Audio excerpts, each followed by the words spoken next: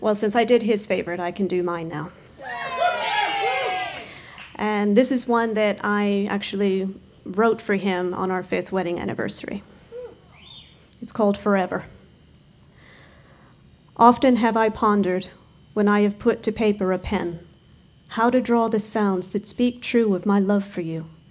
Delicately have I inscribed them, and eloquently have I described them, so that even the loftiest stars in heaven weep shimmering tears of dew. Yet these phrases are fleeting whispers to the thundering roar that is proclaimed in every glance, through every touch, with every breath. Pale are the poet's words to the radiance, the glory of our boundless bliss, such that in the presence of our love, the ink and shame does flee the parchment. I will do honor to our love, and touch not to paper a pen, for I may in vanity instead draw a shameful, shameful verse of sounds.